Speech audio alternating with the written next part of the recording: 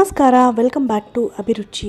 ಇವತ್ತು ನಾನು ತೋರಿಸ್ತಾ ಇರೋವಂಥ ರೆಸಿಪಿ ಹಿತ್ಕಿದ ಅವರೆಬೇಳೆ ಹುಳಿ ಅಥವಾ ಸಾಂಬಾರು.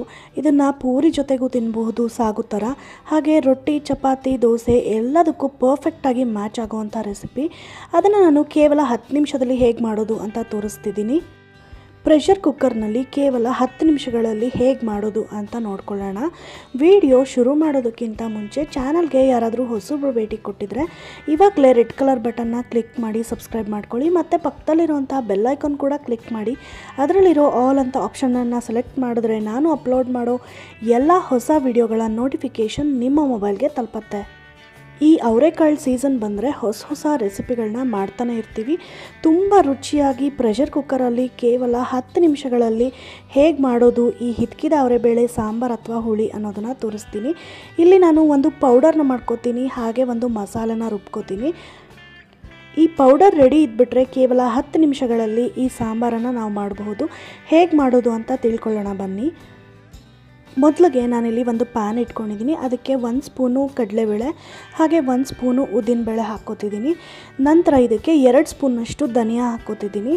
ಹಾಗೆ ಅರ್ಧ ಸ್ಪೂನಷ್ಟು ಜೀರಿಗೆ ಮತ್ತು ಒಂದು ಎಂಟರಿಂದ ಹತ್ತು ಮೆಣಸುಕಾಳು, ಮತ್ತು ಒಂದು ಅರ್ಧ ಇಂಚು ಚಕ್ಕೆ, ಹಾಗೆ ಎರಡೇ ಎರಡು ಲವಂಗ. ನೋಡಿ ಮೆಷರ್ಮೆಂಟ್ಸ್ ಎಲ್ಲ ಡಿಸ್ಕ್ರಿಪ್ಷನ್ ಬಾಕ್ಸಲ್ಲಿ ಹಾಕ್ತೀನಿ ಚೆಕ್ ಮಾಡ್ಕೊಳ್ಳಿ. ಇದಿಷ್ಟನ್ನು ಸಿಮ್ಮಲ್ಲಿ ಇಟ್ಕೊಂಡ್ಬಿಟ್ಟು ಚೆನ್ನಾಗಿ ಫ್ರೈ ಮಾಡ್ಕೋಬೇಕಾಗುತ್ತೆ. ಈ ಹೊಂಬಣ್ಣ ಬಂತಾರಲ್ವ, ಅಲ್ಲಿವರೆಗೂ ಇದನ್ನು ಫ್ರೈ ಮಾಡ್ಕೋಬೇಕು. ಒಳ್ಳೆ ಪರಿಮಳ ಬರೋದಕ್ಕೆ ಸ್ಟಾರ್ಟ್ ಆಗುತ್ತೆ. ಆವಾಗ ಇದನ್ನು ಆಫ್ ಮಾಡ್ಕೋಬೇಕಾಗುತ್ತೆ. ಕಲರ್ ಕೂಡ ಸ್ವಲ್ಪ ಚೇಂಜ್ ಆಗಿರುತ್ತೆ. ಆವಾಗ ನಮಗೆ ಗೊತ್ತಾಗುತ್ತೆ ಇದು ಆಗಿದೆ ಅಂತ. ಇವಾಗ ನೋಡಿ, ಇದನ್ನು ಎತ್ತಿಟ್ಕೋತಾ ಇದ್ದೀನಿ ಒಂದು ಪ್ಲೇಟ್ಗೆ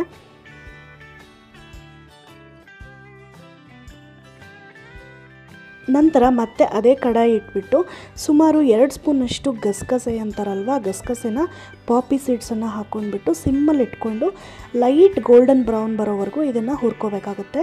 ಇದು ಲೈಟಾಗಿ ಚಟ್ಪಟ ಅನ್ನೋದಕ್ಕೆ ಸ್ಟಾರ್ಟ್ ಆಗುತ್ತೆ. ಆವಾಗ ಇದನ್ನು ಎತ್ತಿಟ್ಕೋಬೇಕು. ತುಂಬ ಎಲ್ಲ ಸೀಸ್ಕೊಳಕ್ಕೆ ಹೋಗಬಾರ್ದು. ಕಹಿ ಬಂದುಬಿಡುತ್ತೆ. ಹಾಗಾಗಿ ಲೈಟಾಗಿ ಇದನ್ನು ಹುರ್ಕೋಬೇಕಾಗುತ್ತೆ. ಇದನ್ನು ಕೂಡ ಇವಾಗ ಒಂದು ಪ್ಲೇಟ್ಗೆ ಎತ್ತಿಟ್ಕೋತಾ ಇದ್ದೀನಿ. ಇದು ಕೂಡ ಆಗಿದೆ ಇವಾಗ. ಇವಾಗ ನೋಡಿ, ಅದೇ ಸೇಮ್ ಪ್ಲೇಟ್ಗೆ ಇದನ್ನು ಕೂಡ ಹಾಕ್ಕೋತಾ ಇದ್ದೀನಿ. ನಂತರ ಮತ್ತೆ ಅದೇ ಕಡಾಯಿನ ಇಟ್ಕೊಂಡು ಸುಮಾರು ಎರಡು ಸ್ಪೂನಷ್ಟು ಎಣ್ಣೆ ಹಾಕೋತಿದ್ದೀನಿ ಕಮ್ಮಿ ಕೂಡ ಹಾಕೋಬೋದು ಎಣ್ಣೆ ಚೆನ್ನಾಗಿ ಹಾಕ್ಕೊಂಡ್ರೆ ಒಳ್ಳೆ ಬಣ್ಣ ಬರುತ್ತೆ ಇವಾಗ ಸುಮಾರು ಒಂದು ಹತ್ತರಿಂದ ಹದಿನೈದು ಕೆಂಪು ಮೆಣಸಿನ್ಕಾಯಿ ಒಣಮೆಣಸಿನ್ಕಾಯಿನ ಹಾಕ್ಕೋತಿದ್ದೀನಿ ನೀವು ಇದಕ್ಕೆ ಬ್ಯಾಡ್ಗೆ ಆದರೂ ಹಾಕೋಬೋದು ಅಥವಾ ಗುಂಟೂರು ಮೆಣಸಿನ್ಕಾಯಿ, ನಿಮಗೆ ಯಾವುದು ಇರುತ್ತೋ ನಿಮ್ಮ ಮನೇಲಿ ಯಾವ್ದು ಇರುತ್ತೋ ಅದನ್ನು ಹಾಕ್ಕೊಂಡ್ಬಿಟ್ಟು ಚೆನ್ನಾಗಿ ಇದನ್ನು ಹುರ್ಕೋಬೇಕು. ಇದು ನೋಡಿ ಕಲರ್ ಚೇಂಜ್ ಆಗುತ್ತೆ. ಮೇಲೆ ಕಪ್ಪು ಕಪ್ಪು ಸ್ಪಾಟ್ಸ್ ಬರುತ್ತೆ. ಅಲ್ಲಿವರೆಗೂ ಇದನ್ನು ಹುರ್ಕೋಬೇಕಾಗತ್ತೆ. ಇವಾಗ ನೋಡಿ ಇದು ಹುರಿದಿದ್ದು ರೆಡಿ ಆಯಿತು. ಇದನ್ನು ಒಂದು ಮಿಕ್ಸಿ ಜಾರ್ಗೆ ಹಾಕೋತಾ ಇದ್ದೀನಿ ಫಸ್ಟು ನಾವು ಪೌಡರ್ ಮಾಡ್ಕೋಬೇಕಾದ್ರೆ ಯಾವುದೇ ಪೌಡರ್ ಆದರೂ ಮೆಣಸಿನ್ಕಾಯಿ ಹುರ್ಕೊಂಡಿರ್ತೀವಲ್ವ, ಅದನ್ನು ಪೌಡರ್ ಮಾಡ್ಕೊಂಬಿಡಬೇಕು ಎಲ್ಲ ಮಸಾಲೆಗಳ ಜೊತೆಗೆ ಮೆಣಸಿನ್ಕಾಯಿನ ಹಾಕೊಂಡ್ಬಿಟ್ರೆ ಇದು ಪೌಡರ್ ಆಗೋದು ಸ್ವಲ್ಪ ಕಷ್ಟ ಆಗುತ್ತೆ. ಹಾಗಾಗಿ ಫಸ್ಟ್ ಮೆಣಸಿನ್ಕಾಯಿ ಹಾಕೊಂಡ್ಬಿಟ್ಟು ನಾನು ಒಂದು ಕ್ರಷ್ ಪೌಡರನ್ನು ತಯಾರಿಸ್ಕೊತೀನಿ. ನಂತರ ಎಲ್ಲ ಮಸಾಲೆ ಪದಾರ್ಥಗಳನ್ನ ಹಾಕ್ಕೋತಿದ್ದೀನಿ. ನೋಡಿ, ಇವಾಗ ಮೆಣಸಿನ್ಕಾಯಿ ಸ್ವಲ್ಪ ಲೈಟಾಗಿ ಪೌಡ್ರ್ ಮಾಡ್ಕೊಂಡಿದ್ದಾಯಿತು. ನಂತರ ಇದಕ್ಕೆ ಹುರಿದಿಟ್ಕೊಂಡಿರೋಂಥ ಎಲ್ಲ ಮಸಾಲೆ ಪದಾರ್ಥಗಳನ್ನ ಹಾಕ್ಕೊಂಡ್ಬಿಟ್ಟು ಇದನ್ನು ಕೂಡ ಫೈನ್ ಪೌಡರಾಗಿ ಮಾಡ್ಕೋಬೇಕಾಗತ್ತೆ. ಅದಕ್ಕಿಂತ ಮುಂಚೆ ಒಂದು ಅರ್ಧ ಬಟ್ಲಷ್ಟು ಒಣಕೊಬ್ಬರಿನ ಹಾಕೋಬೇಕಾಗತ್ತೆ. ನಾವಿಲ್ಲಿ ಇವಾಗ ಒಣಕೊಬ್ಬರಿನ ಮಿಸ್ ಮಾಡಿದ್ರೆ ನಂತರ ಒಂದು ಮಸಾಲೆ ತಯಾರಿಸ್ಕೋತೀವಲ್ವ? ಅಲ್ಲಿ ಕಾಯಿ ತುರಿ ಕೂಡ ಹಾಕೋಬಹುದು. ನಾನು ಇವಾಗಲೇ ಇದಕ್ಕೆ ಒಣಕೊಬ್ಬರಿನ ಹಾಕ್ಕೊಂಡು ಚೆನ್ನಾಗಿ ಫೈನ್ ಪೌಡರ್ ಆಗಿ ಮಾಡ್ಕೊಂಡಿದ್ದೀನಿ. ಇವಾಗ ಹಿತ್ಕಿನ ಬೇಳೆ ಸಾಂಬಾರು ಮಾಡೋವಂಥ ಪೌಡರ್ ರೆಡಿ ಆಯಿತು. ಇವಾಗ ಮಸಾಲೆ ಹೇಗೆ ಮಾಡ್ಕೊಳ್ಳೋದು, ರುಬ್ಕೊಳ್ಳೋದು ಅಂತ ನೋಡ್ಕೊಳ್ಳೋಣ. ಮತ್ತು ಅದೇ ಪ್ಯಾನ್ ಇಟ್ಕೊಂಡ್ಬಿಟ್ಟು ಸುಮಾರು ಎರಡು ಸ್ಪೂನಷ್ಟು ಎಣ್ಣೆ ಹಾಕ್ಕೊಂಡಿದ್ದೀನಿ. ಎಣ್ಣೆ ಕಾದ್ಮೇಲೆ ಸಾಸಿವೆ ಹಾಕ್ಕೊಂಡಿದ್ದೀನಿ ಸಾಸಿವೆ ಇವಾಗ ಚಟ್ಪಟ ಅಂದಮೇಲೆ ಸುಮಾರು ಎಂಟು ಕೆಂಪು ಮೆಣಸಿನ್ಕಾಯಿ, ಕೆಂಪು ಹಸಿ ಮೆಣಸಿನ್ಕಾಯಿ ಇರುತ್ತಲ್ವ, ಅದನ್ನು ಹಾಕ್ಕೊಂಡಿದ್ದೀನಿ ಹಾಗೆ ಒಂದೇ ಒಂದು ಈರುಳ್ಳಿನ ಸ್ವಲ್ಪ ದಪ್ಪ ದಪ್ಪವಾಗಿ ಕಟ್ ಮಾಡಿಕೊಂಡು ಚೆನ್ನಾಗಿ ಹುರ್ಕೋಬೇಕಾಗತ್ತೆ ಇದಿಷ್ಟನ್ನು. ಇಲ್ಲಿ ನೋಡಿ, ನಾವು ಹಸಿರು ಮೆಣಸಿನ್ಕಾಯಿ ಹಾಕೊಳ್ಳೋದು ಬದಲು ಈ ಥರ ಹಣ್ಣಾಗಿರೋಂಥ ಕೆಂಪು ಮೆಣಸಿನ್ಕಾಯಿನ ಹಾಕ್ಕೊಂಡ್ರೆ ಒಳ್ಳೆ ಬಣ್ಣನೂ ಬರುತ್ತೆ, ಹಾಗೆ ರುಚಿ ಕೂಡ ಅದ್ಭುತವಾಗಿರುತ್ತೆ. ನಂತರ ಇದಕ್ಕೆ ನಾನು ಚಿಕ್ಕದಾಗಿ ಹೆಚ್ಚಿಟ್ಕೊಂಡಿರೋಂಥ ಎರಡು ಟೊಮ್ಯಾಟೊ ಹಣ್ಣನ್ನು ಹಾಕ್ಕೊಂಡು ಸ್ವಲ್ಪ ಉಪ್ಪು ಹಾಕ್ಕೊಂಡು ಇದನ್ನು ಮೆತ್ತಗೆ ಹುರ್ಕೋಬೇಕು. ನೋಡಿ, ತುಂಬ ಮೆತ್ತಗಾಗಿರಬೇಕು. ಟೊಮ್ಯಾಟೊ ಮತ್ತು ಈರುಳ್ಳಿ ಹಸಿ ವಾಸನೆ ಹೋಗೋವರೆಗೂ ಇದನ್ನು ಹುರ್ಕೋಬೇಕಾಗತ್ತೆ. ನಂತರ ಇದನ್ನು ನಾನು ಮಸಾಲೆ ರುಬ್ಕೊಳ್ಳೋದಕ್ಕೆ ಈ ಪೌಡರ್ ರೆಡಿ ಮಾಡ್ಕೊಂಡಿದ್ದೀವಲ್ವ, ಆ ಪೌಡರು. ಹಾಗೆ ಇಲ್ಲಿ ಹುರಿದಿಟ್ಕೊಂಡಿರುವಂಥ ಈರುಳ್ಳಿ, ಟೊಮ್ಯಾಟೊ ಮತ್ತು ಕೆಂಪು ಮೆಣಸಿನ್ಕಾಯಿನ ಹಾಕ್ಕೊತಿದ್ದೀನಿ ನೋಡಿ ಎಲ್ಲದನ್ನು ಹಾಕ್ಕೊಂಡು ಒಂದು ಸ್ವಲ್ಪ ಸ್ವಲ್ಪ ನೀರು ಹಾಕೋಬೇಕು. ನಿಮಗೆ ಸಾಂಬಾರು ನೀರಾಗಿರಲಿ ಅನ್ನೋದಾದರೆ ಸ್ವಲ್ಪ ನೀರು ಜಾಸ್ತಿನೇ ಹಾಕೋಬೋದು. ನಾನಿಲ್ಲಿ ಮೀಡಿಯಮ್ ಆಗಿ ಮಾಡ್ತಿದ್ದೀನಿ. ತುಂಬ ಗಟ್ಟಿಯಾಗೂ ಮಾಡ್ತಿಲ್ಲ, ಹಾಗೆ ತುಂಬ ತೆಳುವಾಗೂ ಮಾಡ್ತಿಲ್ಲ, ಹಾಗೆ ಸ್ವಲ್ಪ ನೀರು ಹಾಕ್ಕೊಂಡ್ಬಿಟ್ಟು ಇದನ್ನು ತುಂಬ ನುಣ್ಣಕ್ಕೆ ರುಬ್ಕೋಬೇಕಾಗತ್ತೆ. ನೋಡಿ ಇಷ್ಟು ಸ್ಮೂತ್ ಪೇಸ್ಟ್ ಮಾಡ್ಕೋಬೇಕು. ಇವಾಗ ಮಸಾಲೆ ರೆಡಿ ಆಯಿತು. ಪ್ರೆಷರ್ ಕುಕ್ಕರಲ್ಲಿ ಕೇವಲ ಹತ್ತು ನಿಮಿಷಗಳಲ್ಲಿ ಹೇಗೆ ಮಾಡೋದು? ಹತ್ತು ನಿಮಿಷ ಕೂಡ ಹಿಡಿಯೋದಿಲ್ಲ, ಕೇವಲ ಐದರಿಂದ ಆರು ನಿಮಿಷದಲ್ಲಿ ಆಗಿಬಿಡುತ್ತೆ. ಇವಾಗ ಎಣ್ಣೆ ಹಾಕ್ಕೊಂಡಿದ್ದೀನಿ ಕುಕ್ಕರ್ಗೆ, ಎಣ್ಣೆ ಕಾದ್ಮೇಲೆ ಸಾಸಿವೆ ಹಾಕ್ಕೋತಿದ್ದೀನಿ. ಸಾಸಿವೆ ಚಟ್ಪಟ ಅಂದಮೇಲೆ ಇದಕ್ಕೆ ನಾನು ಈ ಹಿತ್ಕಿದ ಅವರೆ ಬೇಳೆ ಇರುತ್ತಲ್ವ, ಅದನ್ನು ಹಾಕ್ಕೋತಿದ್ದೀನಿ. ಅದಕ್ಕಿಂತ ಮುಂಚೆ ಒಂದು ಸ್ವಲ್ಪ ಸ್ವಲ್ಪ ಕರ್ಬೇವು ಸೊಪ್ಪನ್ನು ಕೂಡ ಹಾಕ್ಕೊಂಡು ಬಾಡಿಸ್ಕೊತಿದ್ದೀನಿ. ಇವಾಗ ನೋಡಿ, ಹಿತ್ಕಿದ ಅವರೆ ಬೇಳೆ ರೆಡಿಯಾಗಿದೆ ಇದನ್ನು ಕುಕ್ಕರ್ಗೆ ಹಾಕ್ಕೊಂಡು ಒಂದು ಎರಡರಿಂದ ಮೂರು ನಿಮಿಷಗಳ ಕಾಲ ಹುರ್ಕೋಬೇಕಾಗತ್ತೆ. ಹುರಿದಿಲ್ಲ ಅಂದರೆ ತುಂಬ ಮೆತ್ತಗಾಗ್ಬಿಡುತ್ತೆ. ಹಾಗಾಗಿ ಇದನ್ನು ಚೆನ್ನಾಗಿ ಹುರ್ಕೋಬೇಕು. ಈ ಹಿತ್ಕಿದ ಅವರೆಬೇಳೆ ಮಾಡೋದು ಹೇಗೆ ಅಂತ ಯೂಶಲ್ ಆಗಿ ಎಲ್ಲರಿಗೂ ಗೊತ್ತಿರುತ್ತೆ. ಅವರೆಕಾಳುಗಳನ್ನು ದಪ್ಪ ದಪ್ಪ ಇರೋಂಥ ಅವರೆಕಾಳುಗಳನ್ನು ಒಂದು ನೈಟ್ ಫುಲ್ ನೆನೆಸಿಟ್ಬಿಟ್ಟು ಬೆಳಗ್ಗೆ ಎದ್ದು ಕೈಯಿಂದ ಈ ಥರ ಸಿಪ್ಪೆಗಳನ್ನೆಲ್ಲ ತೆಗೆದುಬಿಟ್ರೆ ಹಿತ್ಕಿದ ಬೇಳೆ ರೆಡಿ ಆಗುತ್ತೆ. ಗೊತ್ತಾಯ್ತಲ್ವಾ ಹೇಗೆ ರೆಡಿ ಆಗುತ್ತೆ, ಹಿತ್ಕಿದ ಬೇಳೆ ಅನ್ನೋದು. ನಂತರ ಇದಕ್ಕೆ ನಾನು ರುಬ್ಬಿಟ್ಕೊಂಡಿರೋಂಥ ಮಸಾಲೆನ ಆ್ಯಡ್ ಮಾಡ್ಕೊತಾ ಇದ್ದೀನಿ. ಈ ಮಸಾಲೆ ಹಾಕ್ಕೊಂಡ್ಬಿಟ್ಟು ಚೆನ್ನಾಗಿ ಒಮ್ಮೆ ಮಿಕ್ಸ್ ಮಾಡ್ಕೋಬೇಕು. ಇವಾಗ ನಮಗೆ ಕನ್ಸಿಸ್ಟೆನ್ಸಿ ಗೊತ್ತಾಗುತ್ತೆ, ತುಂಬ ನೀರಾಗಿದೆಯಾ ಅಥವಾ ತುಂಬ ಗಟ್ಟಿಯಾಗಿದೆಯಾ ಅಂತ. ನನಗೆ ಸ್ವಲ್ಪ ಗಟ್ಟಿಯಾಗಿದೆ ಅನಿಸೋದ್ರಿಂದ ಈ ಜಾರಲ್ಲಿ ನೀರು ಹಾಕ್ಬಿಟ್ಟು ಅದನ್ನು ಕೂಡ ಒಮ್ಮೆ ಇದಕ್ಕೆ ಹಾಕೋತಾ ಇದ್ದೀನಿ ನೀರನ್ನು.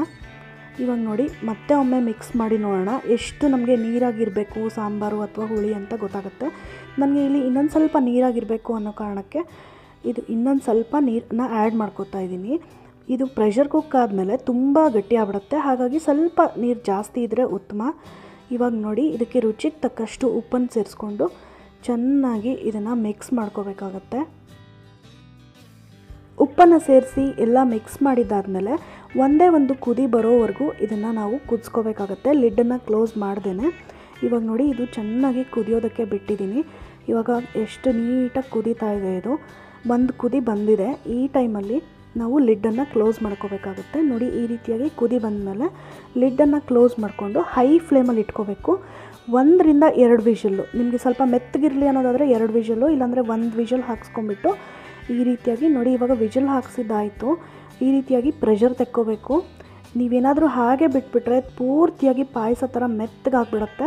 ನೋಡಿ, ಇದನ್ನು ಮಾತ್ರ ಮರಿಬೇಡಿ. ಈ ರೀತಿಯಾಗಿ ಒಂದು ಎರಡು ನಿಮಿಷದಲ್ಲಿ ಪ್ರೆಷರ್ನ ತೆಕ್ಕೊಂಡ್ಬಿಟ್ರೆ ಹಿತ್ಕಿದ ಅವರೆಬೇಳೆ ಸಾಂಬಾರು ರೆಡಿ ಆಗುತ್ತೆ. ನೋಡಿ ಒಳಗಡೆಯಿಂದ ಹಾಗೆ ಕುದೀತಾ ಇದೆ. ಅಷ್ಟರಲ್ಲಿ ನಾವು ತೆಕ್ಕೊಂಬಿಡ್ಬೇಕು ಪ್ರೆಷರು ಇಲ್ಲದಿದ್ರೆ ಪೂರ್ತಿಯಾಗಿ ಮೆತ್ತಗಾಗ್ಬಿಡುತ್ತೆ. ಈ ಟೈಮಲ್ಲಿ ನಿಮಗೆ ಸಾಂಬಾರು ತುಂಬ ಗಟ್ಟಿ ಆಯಿತು ಅಂದರೆ ಸ್ವಲ್ಪ ಬಿಸಿನೀರು ಹಾಕ್ಕೊಂಡು ನೀವು ಇದನ್ನು ಕುದಿಸ್ಕೋಬಹುದು. ಅಥವಾ ತುಂಬ ತೆಳುವಾಯಿತು ಅನ್ನೋದಾದ್ರೆ ಹಾಗೇನು ಒಂದು ಎರಡು ನಿಮಿಷ ಇಟ್ಬಿಟ್ಟು, ಒಲೆ ಮೇಲೆ ಇಟ್ಬಿಟ್ಟು ಕುದಿಸ್ಬಿಟ್ರೆ ಸ್ವಲ್ಪ ಗಟ್ಟಿ ಆಗಿಬಿಡುತ್ತೆ. ನೋಡಿ, ಇವಾಗ ಎಷ್ಟು ಚೆನ್ನಾಗಿರುವಂಥ ಹಿತ್ಕಿದ ಬೇಳೆ ಸಾಂಬಾರು ರೆಡಿ ಆಯಿತು. ಇವಾಗ ಇದು ಬೆಂದಿದೆಯಾ ಇಲ್ವಾ ಅಂತ ನಿಮಗೆ ಡೌಟ್ ಇರ್ಬೋದು. ನಾನಿಲ್ಲಿ ಒಂದೇ ಒಂದು ಕಾಳನ್ನು ಬೆಂದಿದೆಯಾ ಇಲ್ವಾ ಅಂತ ತೋರಿಸ್ತೀನಿ ನೋಡಿ. ಎಷ್ಟು ಈ ಥರ ಅಂದರೆ ಸಾಕು, ಸ್ವಲ್ಪ ಪ್ರೆಷರ್ ಹಾಕಿದ್ರೆ ಮೆತ್ತಗಾಗ್ಬಿಡುತ್ತೆ ಪರ್ಫೆಕ್ಟಾಗಿ ಬೆಂದಿದೆ ಇದು. ತುಂಬ ಮೆತ್ತಗೂ ಆಗಿಲ್ಲ, ಹಾಗೆ ತುಂಬ ಗಟ್ಟಿಯಾಗೂ ಇಲ್ಲ ಪರ್ಫೆಕ್ಟಾಗಿ ಆಗಿದೆ ಇದು. ನೋಡಿದ್ರಲ್ವ, ಎಷ್ಟು ಈಸಿಯಾಗಿ ಕೇವಲ ಹತ್ತು ನಿಮಿಷಗಳಲ್ಲಿ ಪ್ರೆಷರ್ ಕುಕ್ಕರಲ್ಲಿ ಈ ಹಿದ್ಕಿದ ಬೇಳೆ ಸಾಂಬಾರನ್ನು ಮಾಡಬಹುದು ಅಂತ.